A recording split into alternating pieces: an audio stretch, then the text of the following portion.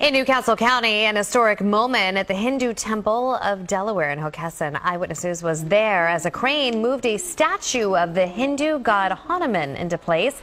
It is 25 feet tall. It was carved out of a single piece of granite in India and then shipped to Delaware. The estimated weight is 70,000 pounds. Once installed, it will be the largest statue of a Hindu god here in the United States.